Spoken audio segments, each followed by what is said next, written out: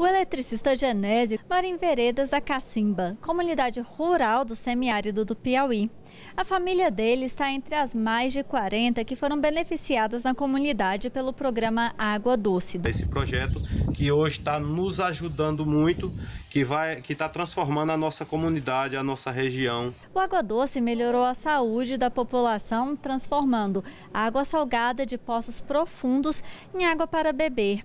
Há quase 600 sistemas em todo o semiárido brasileiro, com produção de 2 milhões de litros de água doce por dia.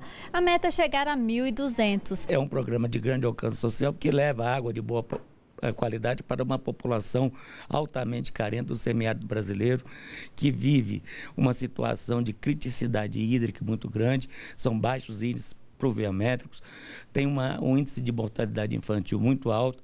Então, um programa do governo federal que visa levar uma melhor qualidade de vida para essa população.